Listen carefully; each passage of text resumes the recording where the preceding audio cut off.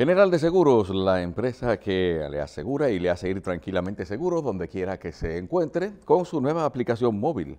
General de Seguros, cotice y compre sus pólizas, haga pagos en líneas de seguimiento a reclamos y mucho más. General de Seguros, tranquilamente seguro, su aplicación móvil para que usted no pierda el contacto con su aseguradora favorita, General de Seguros, tranquilamente seguro. Vamos ahora con un resumen informativo en horas extras. Les tenemos aquí las siguientes eh, noticias. El gobierno anuncia un aumento salarial para los bomberos. También serán sometidos a una reforma después de concluir la de la Policía Nacional. La Unión Nacional de Bomberos elige un nuevo presidente. El ministro de Interior y Policía, Jesús Vázquez Martínez, anunció que desde que finalice la reforma policial, empezará la de los cuerpos de bomberos con un aumento de sueldos y otros beneficios. Citó entre las ventajas mejor seguro médico, pensiones dignas y acciones para el bienestar suyo y de sus familias. Vázquez reiteró su pesar por la muerte de los tres bomberos en La Vega, héroes que fallecieron para salvar la vida de otras personas y sus propiedades. Y dijo que muchos trabajan de manera honorífica por lo que es necesario fortalecer esa vocación desde niño, como lo hace el general Luis Murdoch en San Francisco de Macorís, quien estaba presente en el acto. Pero eh, esto nos alegra, pero nos hace, eh, nos llena de interrogantes también, porque hasta donde teníamos entendido, los bomberos estaban en las nóminas de los ayuntamientos. Entonces, el Ministerio de Interior es una institución del gobierno central. A ver cómo lo harán si es que acaso van a formar el propuesto ya Cuerpo Nacional de Bomberos. Una vez querían formarlo como, como una institución castrense, pero como hay bomberos que son más ricos que otros, dependiendo del pueblo donde se encuentre, eso encontró cierta oposición. Ya eso, de eso hace como 20 años y vamos a ver si, el, si ese sistema termina haciéndose de nuevo. Incluso ni siquiera los rangos son equivalentes entre bomberos de pueblo, ya la cosa es distinta apresan a 15 personas en nuevos allanamientos en Santiago por narcotráfico. Durante la operación que abarcó distintos sectores, incautaron más de 8 millones de pesos, 16 mil dólares, 20 allanamientos contra el microtráfico realizados en distintos sectores de Santiago, hechos por la Dirección Nacional de Control de Drogas. Las autoridades informaron que varios de los detenidos serán sometidos en la jurisdicción de Santiago, incluyendo al nombrado Luis Amauris Pimentel García Manito, encargado, en, hermano del narcotraficante Joel Pimentel. Indicaron también que Alcides María Espinal González, a quien se acusa de ser uno de los principales narcotraficantes de la línea noroeste, será enviado al Distrito Judicial de Montecristi, donde se ha emitido la orden de detención en su contra. El fiscal titular de Santiago, Osvaldo Bonilla Giraldo, dijo que durante la operación que intervino distintos puntos utilizados para la venta de drogas, las autoridades ocuparon 319.6 gramos de marihuana sintética, 172.5 gramos de cocaína clorhidratada, 278.3 gramos de marihuana, cuatro pastillas de éxtasis y otras ocupaciones menores de sustancias ilegales. También tres pistolas, una escopeta y un rifle de cacería, 177 cápsulas para fusil M16 y otras municiones, igualmente 8.228.900 pesos y 16.000 dólares, además de varios teléfonos móviles. La amplia actividad contra el narcotráfico de drogas se llevó a cabo en los sectores El Ejido, Los Ciruelitos, Ato del Yaque, La Herradura, en Sánchez Bermúdez y en Sánchez Payat, así como en Cienfuegos, Gurabo y La Terraza. El Ministerio Público destaca en un comunicado de prensa que la acción se llevó a cabo en el marco de la estrategia contra el tráfico de drogas que ejecuta en todo el país bajo la visión de la magistrada Germán Brito y el presidente de la DNCD, Cabrera Ulloa, cuyas gestiones enfocan su trabajo en la persecución del narcotráfico con una nueva perspectiva para desmantelar las redes a todos los niveles, sin limitarse a trabajar solo el trasiego de los alijos. En los últimos meses, el Ministerio Público ha trabajado dos macrooperaciones, Falcón y Larva, por las que hay más de 50 personas procesadas y ya han sido incautados cientos de bienes obtenidos producto del lavado de activos. La Alcaldía de Santiago presentó el viernes la Constitución Dominicana Infantil a cientos de niños de diferentes sectores del municipio de Santiago con motivo de los actos para conmemorar el 177 aniversario de la primera Constitución de la República, promulgada en San Cristóbal el 6 de noviembre de 1844. Al hacer entrega y presentar la versión impresa para la comunidad infantil, el alcalde Abel Martínez explicó que esta no es más que la Constitución Dominicana en un lenguaje que los niños pueden entender, afirmando que la misma dice que somos libres, soberanos y que debemos preservar la República Dominicana creada por Duarte, Sánchez y Mella. Esta es la Constitución Dominicana en un lenguaje que ustedes pueden entender, pero sobre todo queremos que ustedes desde niños en sus escuelas y en sus casas sepan que a esto nos debemos los dominicanos y que los gobernantes tienen que aplicarla, que hoy somos libres y soberanos porque estamos fundamentados en derechos y deberes que están consagrados en este libro y esos derechos y deberes nos llaman a amar nuestra Constitución, a la República Dominicana y amar nuestra bandera, expresó el alcalde Abel Martínez en un comunicado de prensa. El Tribunal Constitucional conmemoró este sábado el 177 aniversario de la Constitución Dominicana con una audiencia solemne celebrada en esta ciudad y la presencia del presidente Luis Abinader Corona y una concurrida representación de la sociedad e invitados especiales.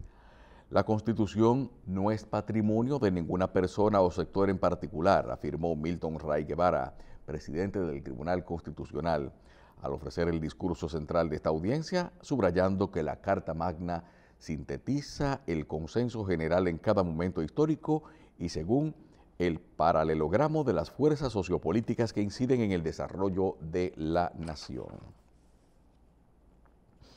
Un tribunal federal de apelaciones de Estados Unidos suspendió la obligación de vacunar contra el COVID a los empleados de empresas de más de 100 personas instaurada por el gobierno de Joe Biden, mientras examina posibles problemas constitucionales graves. El ministro de Salud Pública reconoció ayer que algunos lugares han ido bajando la guardia en el cumplimiento de la resolución que dispone exigir la tarjeta de vacunación contra COVID-19 para ingresar a establecimientos colectivos, tal como lo señala un reportaje periodístico. El Centro de Corrección y Rehabilitación de la Romana, la CUCAMA, estableció un cerco sanitario que implica la suspensión de las visitas hasta nuevo aviso como parte de las medidas de control luego de la detección de siete casos positivos de COVID-19. El presidente de la ciudad sanitaria, Luis Eduardo Aibar, el neurocirujano José Joaquín Puello Herrera, reveló que en los próximos meses se abrirá al público, específicamente vulnerable y de escasos recursos, el referido centro asistencial. Durante una entrevista telefónica, el galeno precisó que la decisión tiene un doble propósito y es probar que sí funciona todo lo que se construyó ahí, refiriéndose al megaproyecto de salud que se edificó a un costo de unos 15 mil millones de pesos. Lo que vamos a hacer, y esto es una noticia importante, es abrir de manera paulatina la ciudad sanitaria. Vamos a abrir primero la unidad que es enorme de consulta externa. Esta es una unidad que está adosada al Hospital Materno Infantil. De ahí vamos a abrir con consultas pediátricas, consultas generales, cardiología, odontología, ginecología, etcétera.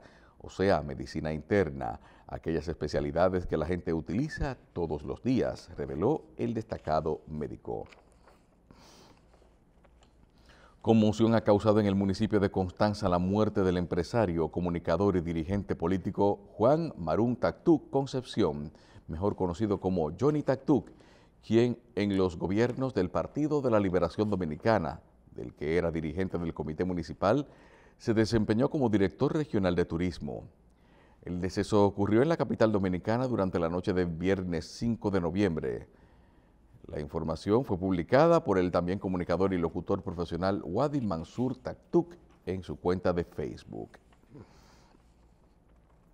El presidente Luis Abinader dejó inauguradas obras en, eh, construidas o terminadas por su gobierno en San Cristóbal por más de mil millones de pesos. Las obras que habían sido prometidas durante un Consejo de Gobierno el 6 de noviembre del 2020 con motivo del Día de la Constitución forman parte de un paquete de reclamos que por muchos años habían hecho habitantes de esa provincia.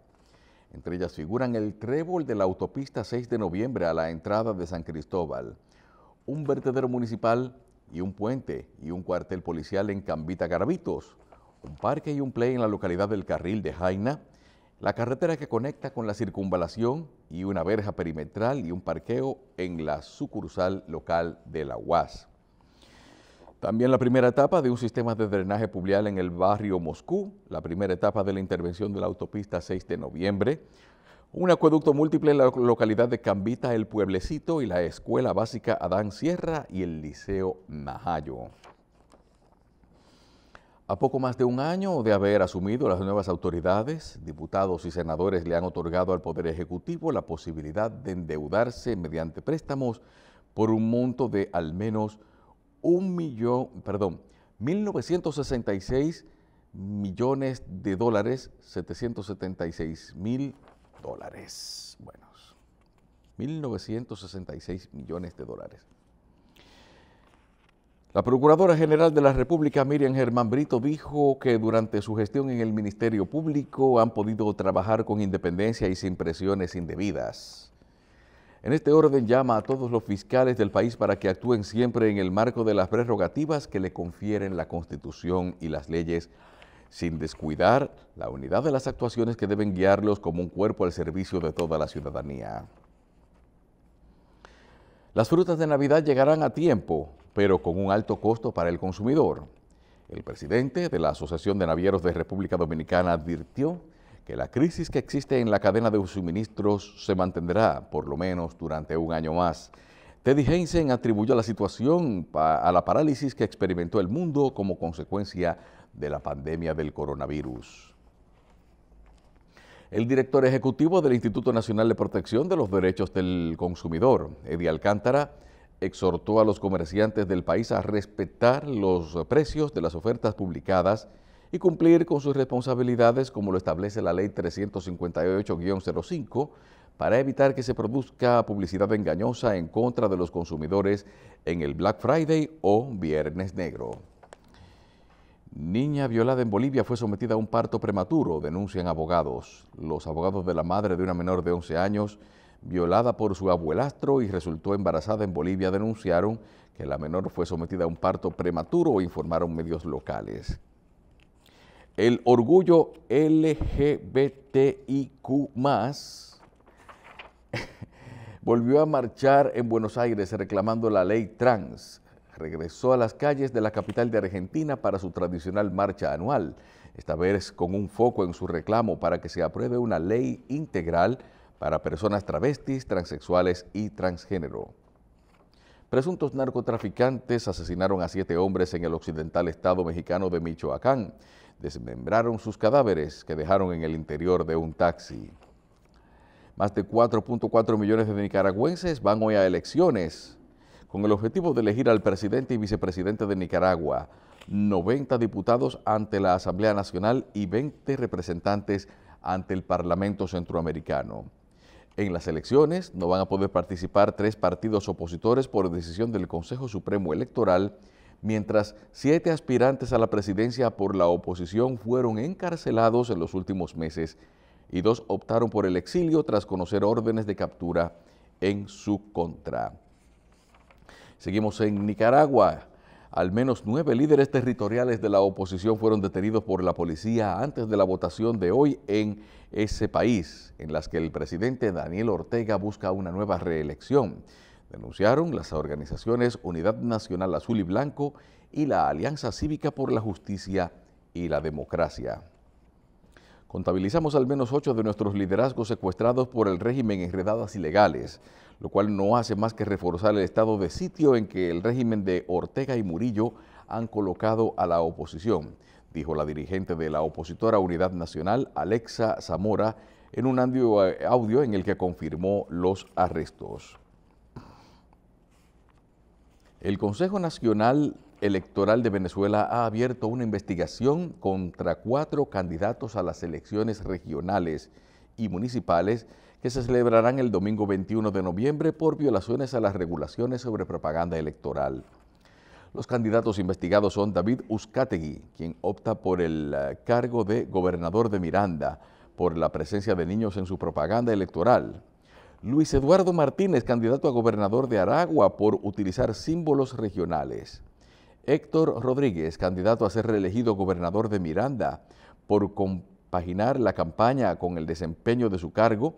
Y Gustavo Duque, candidato a la alcaldía de Chacao por el uso de recursos públicos en campaña.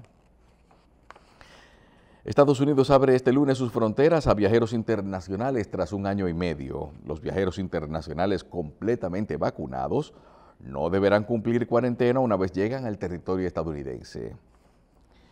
El Papa pide paz y diálogo en Etiopía, sacudida por un largo conflicto. El Papa Francisco pidió la paz y el diálogo en Etiopía, sacudida por un largo conflicto que ha causado miles de víctimas, durante breves palabras pronunciadas tras el rezo del Ángelus.